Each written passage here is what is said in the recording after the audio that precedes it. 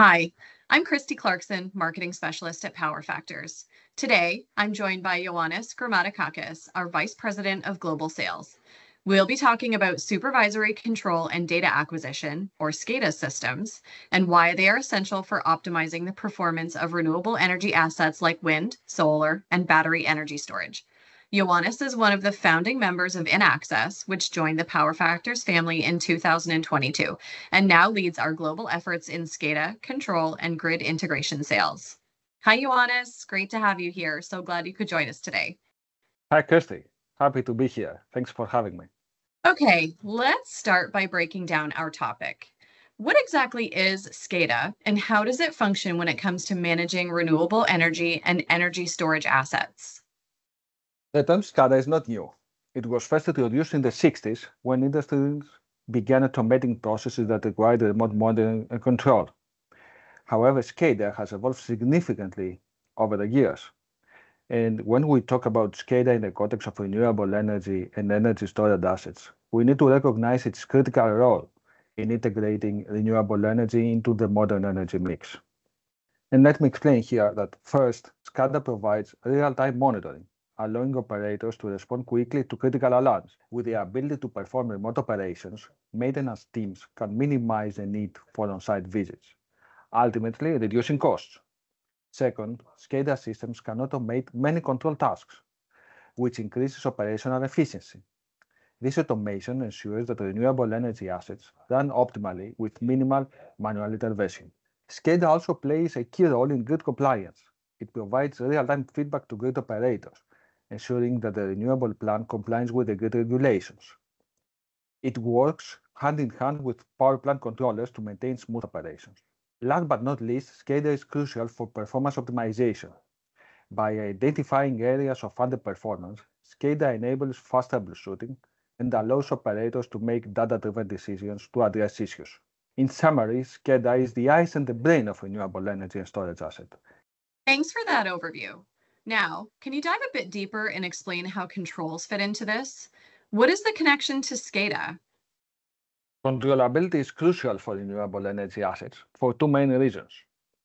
First, it's essential for grid connection. In most cases, connecting to the grid is not possible unless the asset can provide real-time feedback and can be controlled by the grid operator. This control ensures grid stability and compliance with the regulatory requirements. Second, Controllability is key for energy market integration.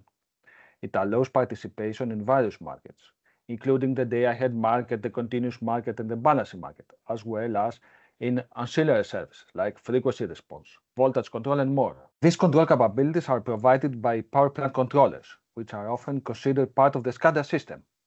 Although power plant controllers are separate devices, when they are well integrated with the SCADA system, several benefits arise.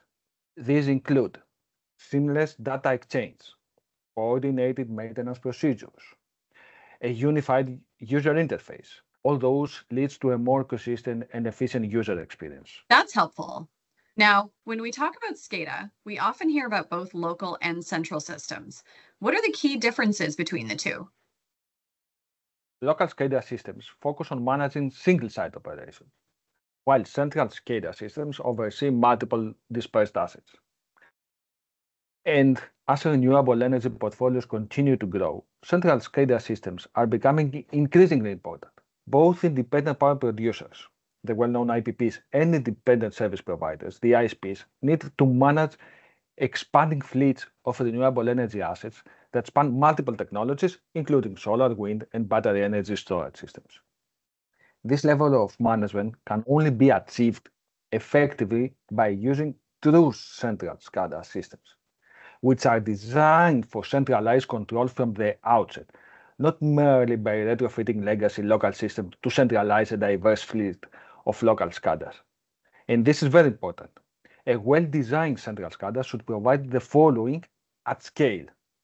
Real-time monitoring down to the string level for both PV and battery strings accurate alarm management, centralized control across multiple sites, uniform datasets, and intuitive user interface across various assets. The architecture of a central SCADA system is critical for its ability to scale without bottlenecks, which can occur in areas such as data ingestion, data processing, and data storage. Therefore, a future-proof design and robust code implementation are essential to ensure the system's long-term success and scalability. Thanks again for joining us today, Ioannis. In our next video, we'll dive into what businesses should look for when selecting a SCADA and control system and potential challenges of implementation. Look forward to seeing you then.